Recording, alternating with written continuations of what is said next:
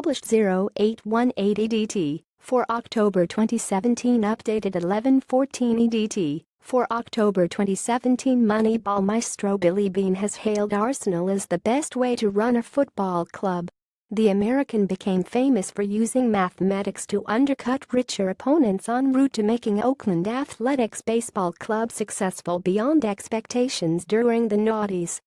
His methods were written about in Michael Lewis's 2003 best-selling book Moneyball The Art of Winning an Unfair Game, which was made into a 2011 film in which he was played by Brad Pitt.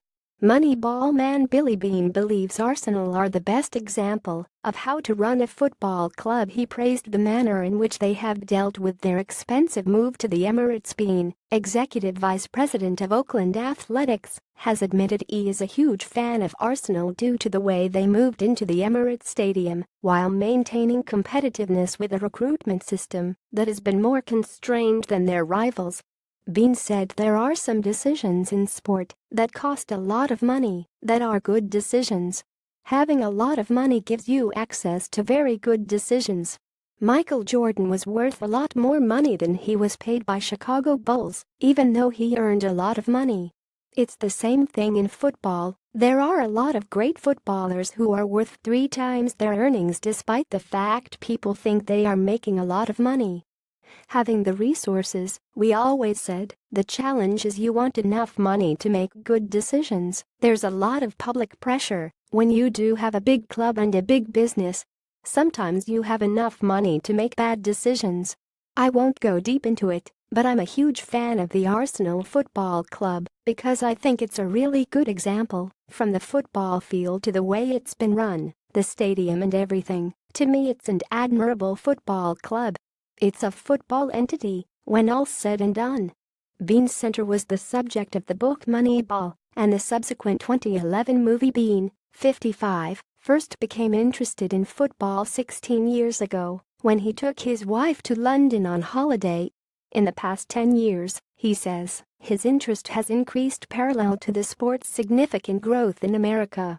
Beane is the executive vice president of baseball operations at the Oakland Athletics, he was a first-round pick in the MLB draft in 1984, but failed to meet the expectations of scouts.